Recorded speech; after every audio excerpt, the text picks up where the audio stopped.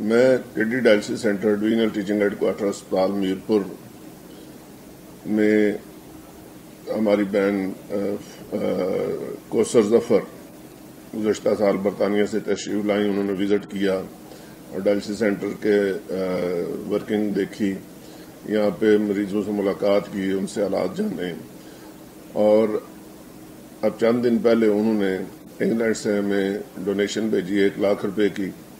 मैं अपनी बहन का तय दिल से मशहूर हूँ कि उन्होंने इस जो दुख और दर्द है उसको महसूस किया। इन मरीजों की ज़िंदगी बचाने के लिए हम जो काविशें कर रहे हैं, उसको सराहा और हमारी अमली मदद की।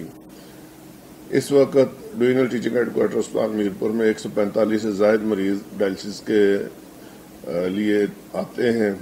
हर हफ़्ते दो दफ़ा उनका डायलिसिस होता है और मुकम्मल तौर पर फ्री डायलिसिस होता है। ये एक ऐसा मर्ज है कि जिस वक्त कोई इंसान इसमें मुबतला हो जाता है तो फिर उसको सारी ज़िंदगी हफ़्ते में दो या तीन दफ़ा डायलिसिस करवाना पड़ता है, वरना उसकी ज़िंदगी का अमकान कम हो जाते हैं। ऐसे में अगर ये देखा जाए तो ये महँगा इलाज अक्सर जिनको हम लोग समझते हैं कि बड़े खुशहाल लोग हैं, उनके पास से भी बाहर होता है। तो ऐसे में अंजमन फ्लावर बहबूद इंसानियत ने इस काम का बीड़ा उठाया और मीरपुर में ये सेंटर सन 2004 से काम कर रहा है और लोगों की खिदमत कर रहा है। आइए, आप भी देखिए हमारी बहन को ज़फ़र की तरह विज़िट कीजिए, खुद अपनी आँखों से हालात देखिए, लोगों से मिलिए, उनके मसाइल और उनके दुख दर्द को जानिए।